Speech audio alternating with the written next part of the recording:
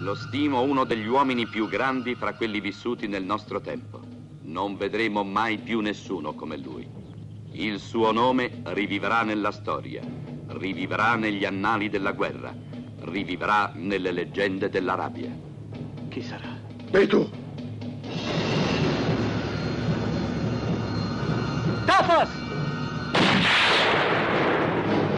Qual è il tuo nome? Il mio nome lo dico ai miei amici.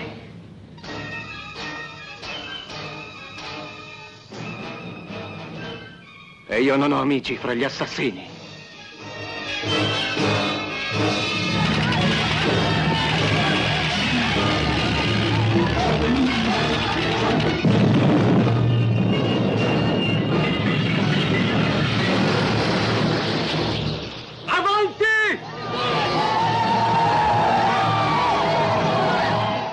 Oltre cinque lustri i giudizi più disparati divampano intorno al nome del colonnello Lorenz.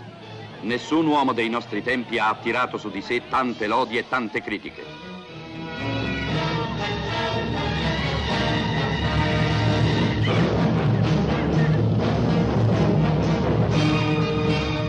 Lorenz d'Arabia, l'uomo combattuto fra due civiltà.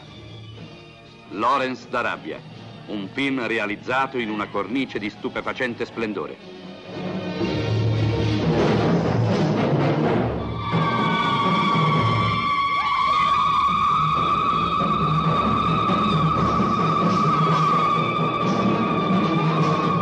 Non è il tenente, il suo consigliere militare, Altezza. Però a me interessa la sua opinione.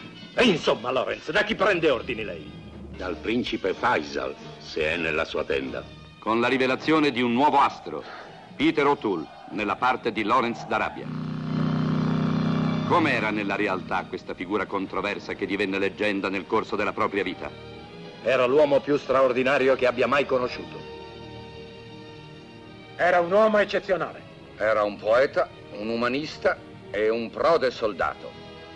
Ma era il più spudorato esibizionista che abbia mai popolato la terra. Secondo lei che cosa spera di ottenere questa gente combattendo? Spera di ottenere la libertà. Di illusi ne nasce uno al minuto. Ma lo otterranno, signor Bentley. E sarò io a dargliela.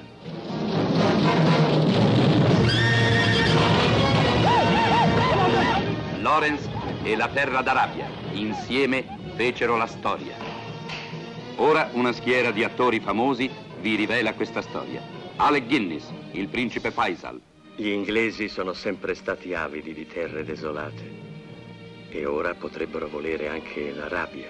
Anthony Quinn, Auda Abutai, Io ho 23 grandi ferite tutte ricevute in battaglia. 75 uomini ho ucciso con le mie mani in battaglia. Io distruggo le tende dei miei nemici, gli porto via le greggi di capre. I turchi mi danno oro a profusione, eppure io sono povero. Perché io sono un fiume per il mio popolo. Jack Hawkins, il generale Allenby, Il suo nome lo conosceranno anche i bambini quando bisognerà ricorrere agli archivi per scoprire chi ero io. Lei è l'uomo più straordinario che io abbia mai conosciuto. Non mi tormenti. Cosa? Mi lasci in pace. José Ferrer, il bei turco, Hai la pelle così bianca. E al loro fianco Anthony Quayle, Claude Rance, Arthur Kennedy, con Omar Sharif nella parte di Ali e Peter O'Toole nella parte di Lawrence.